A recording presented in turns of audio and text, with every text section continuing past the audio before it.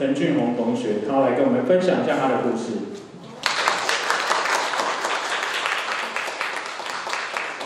大家好，我叫做陈俊宏，今年二十一岁，身高是一百六十八公分，体重是五十，惨了惨了，不行，这样子等一下怎么办啊？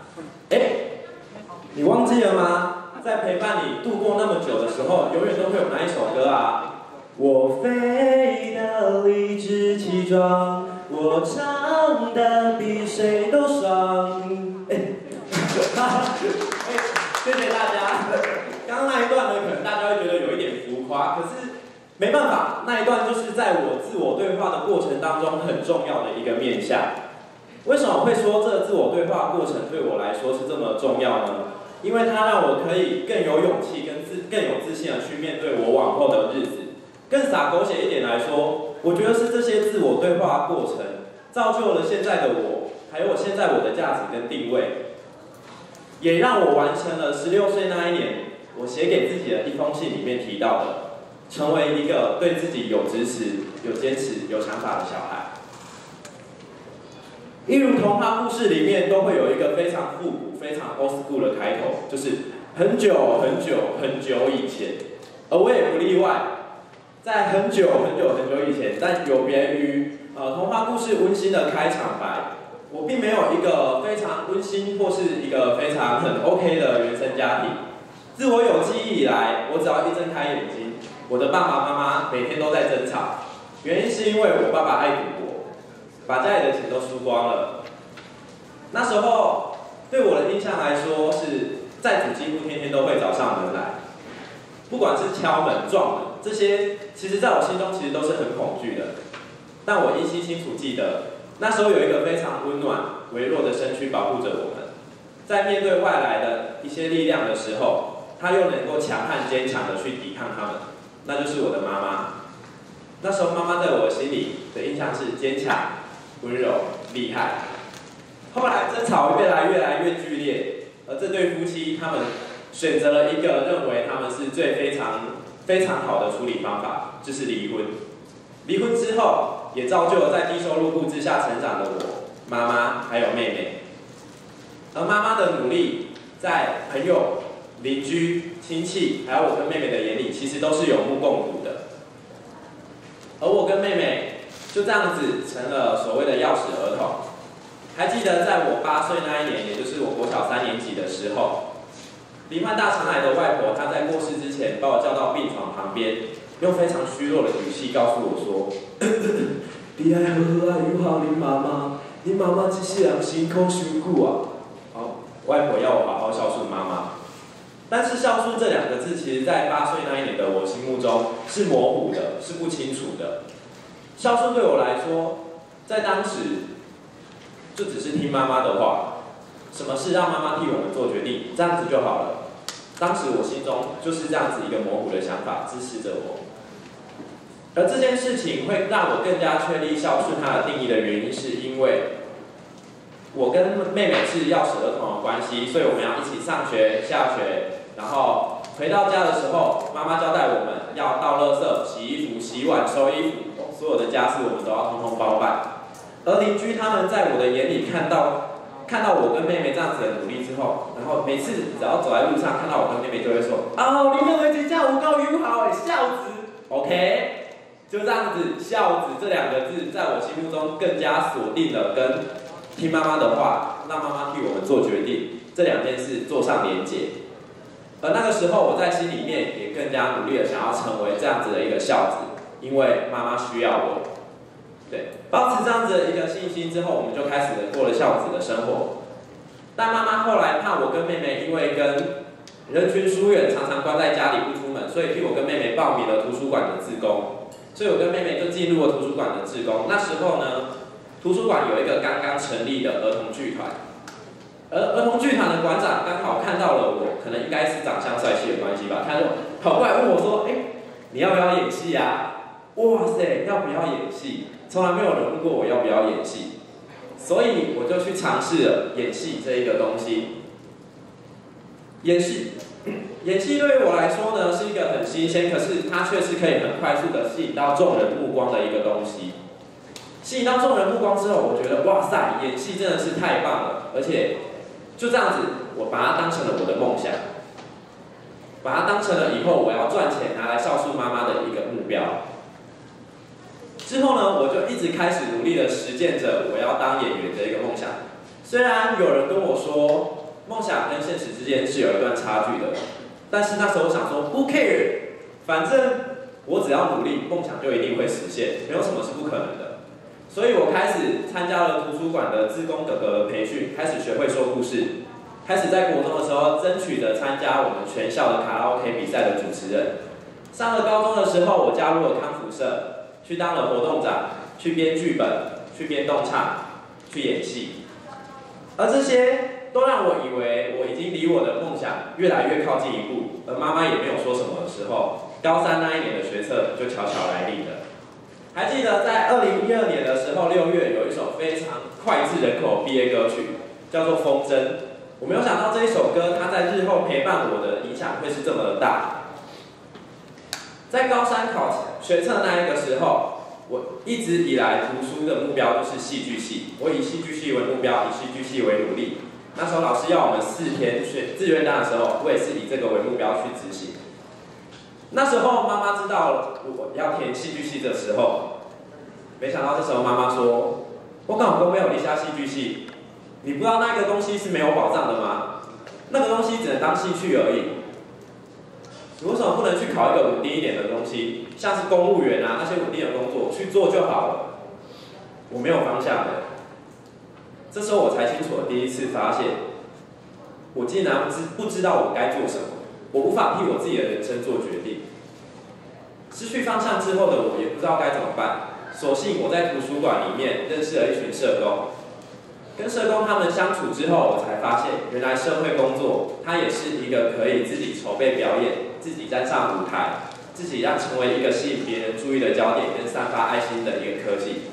所以我就有了筹码跟妈妈说我要读社工系，但是妈妈很容易受别人怂恿。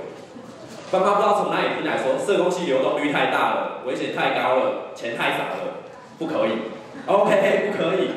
但是后来我跟妈妈就妥协出了一个方案，第一个就是我可以读社工系，但是要在我们家的学区附近就读，就是台南那边就读。第二个就是最远可以读到台南，台中到高雄，但是就是不可以读社工系。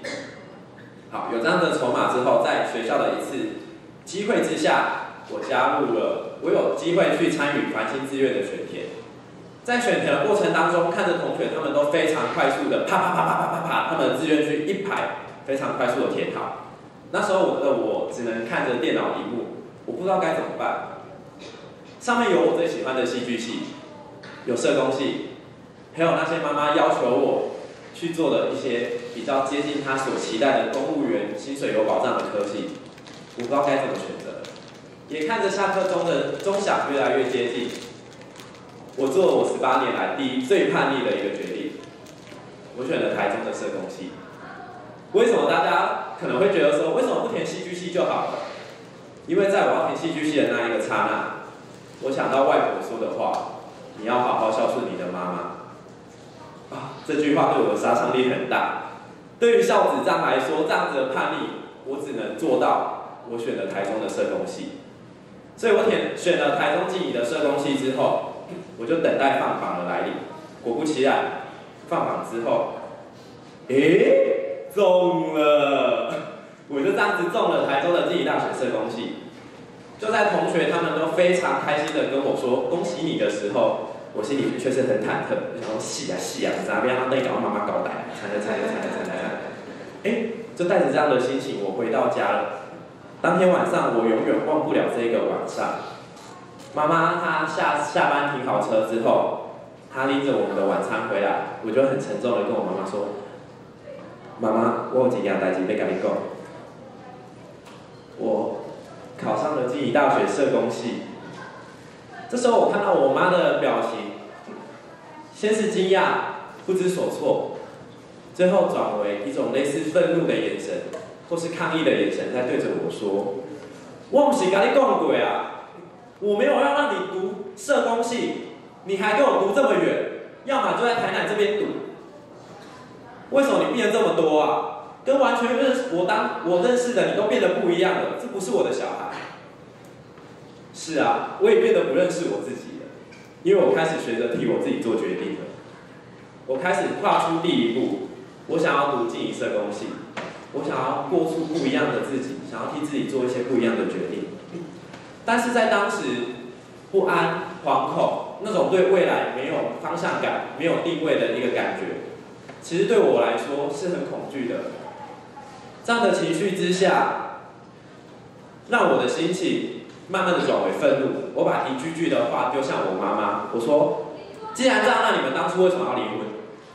为什么你们大人上一代的事情要留给我们小孩来看？我们有我们想要做的事情，为什么都要由我们来替你们收拾你们负面的东西？”好，就这样子，我们的对话结束了。我默默的躲回了我的房间。那妈妈就到楼下去了。我永远忘不了当天的那一个晚上，我做第二件叛逆的事情，不吃晚餐。对，对，尤其是这个国民便当，当天我永远忘不了这个便当五十五块。那天我躲在房间的时候，我默默的播着《风筝》这一首歌，那首歌很疗愈着我。但是过一会儿，楼下就传来一个声音说。是要吃饭无？无要吃，永远拢卖吃。哦，永远拢卖吃，这样肚子会饿，所以我还是很憋屈的下去把晚餐拿回我的房间吃了。对，这是我做的第二件叛逆的事情。过了几天，我都一直把自己锁在房间里面不出门。有一天我睡觉的时候，发现有一个人把我摇醒，因为房间灯灯都是关的。我看到一个人影坐在床边，我吓到了。哦，是妈妈。妈妈就跟我说。你确定要读进一色工系吗？我很坚定的跟妈妈说，对，我要读进一色工系。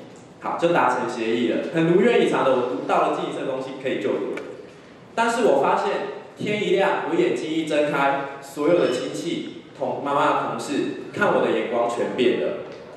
他们看到我会开始说：“你怎么这么不会为家里着想？你妈妈那么辛苦，你真的是很不孝。”哦。不孝，原来要让孝子一夕之间变成不孝子的因素就这么简单，只要一句话，我要读，就这样。后来上了大学一年级的时候，因为家里经济的关系，妈妈不希望我去接触社团，而是去打工，帮家里赚钱，也替自己赚生活费。但是我那时候我又做另外一件叛逆的事情，就是我开始疯狂的玩社团，我想要在社团里面。寻找到玩乐的动机也好，寻找到一些快乐的元素也好，我就假不因为玩社团的原因不回家，而这也导致妈妈的不谅解。她认为是台中绑走她的儿子，是静宜大学绑走了她的儿子，哇，莫须有的罪名。就这样子，慢慢的在大学社团里面，我当上了干部，我有一群陪我一起逐梦的伙伴，是他们让我找回了。很久很久很久那种追梦的感觉，是他们让我拥有了对梦想的憧憬，让我发现自己原来还有温暖、细心、领导的这些特质，是他们让我在社团里面学到了很多。到了大三的社工系的时候，我们都会有一个实习的课，实习的一个学分，而社工系的实习里面有一个叫做督导的体系，督导就是在实习生每天实习结束的时候，可能会关心你或询问你。最近实习的时候有没有遇到什么状况？而也就是在实习的过程当中，我学会了跟自我对话。而在自我对话的过程当中，我才发现，原来不是妈妈一直要替我做决定，而是到后来我被宠坏了，是我自己不想做决定，是妈妈是妈妈看到我不做决定而帮我做决定。而有了这样子的一个想法之后，我也才发现到。原来我自以为我是孝子，但是我做的事情却越来越来越来越来越来跟越跟孝顺越来越远了。我似乎不再是当年那一个孝顺的我。于是我开始试着想要跟我的家里关系做一个和解。直到有一天我回到家之后，看到妈妈床头柜旁边有一箱总共二十四瓶的胎盘精华液，我才发现妈妈老了。妈妈有皱纹的，原来妈妈也需要靠这些外在的保养来维持维持自己的青春的。更另外的是，妈妈总会载我到车站去坐车。坐车的时候，我才发现我已经可以从我的眼睛往下看到妈妈的头顶了。直到那一刻，我才发现，原来当年保护我的那一个人，现在已经默默的需要变成我要保护的那一个责任了。于是我开始跟家里关系进行了和解，我放下了以前的成见，我会主动试着以更不一样的方式、更不一样的说话技巧去跟妈妈对谈。而跟家里关系和解之后，我也开始有了信心，有了勇气，有了安全感。我开始去尝试更多我不敢尝试的东西。我开始去追梦。我去台北参加了演员甄选。我去自己办了一个叫做 Free Hug 的活动，是一个可以帮助大家自我对话，然后让大家了解自己在做什么的活动。做了这些之后，我才发现，原来我自己的价值跟定位，其实在上大学这一个跟家里抗衡跟的过程当中。借由社团、借由社工系的实习，让我自己发现。就我而言，人生有很多时候是没有路标跟地图，要怎么选择，其实全部都操之在我们手上。曾经，呃，侯永他有说过一句话，叫做说，在一个今日的标准答案很快就被明日淘汰的巨变时代当中，只有不乖才能拥抱你永不过时。这句话拉到现在来说，确实很合理。但在传统的社会里面来看，你只要被加上了一个“不”这个字，就是全盘被否定了。所以，现实它对我来说，其实它一直都是存在的。我并没有想要征服它或跨越它。我能做的，就是只能在它底下转个弯，换个方式思考，找出一个相互相平衡的一个机制，然后让我自己可以寻找出一个价值跟定位。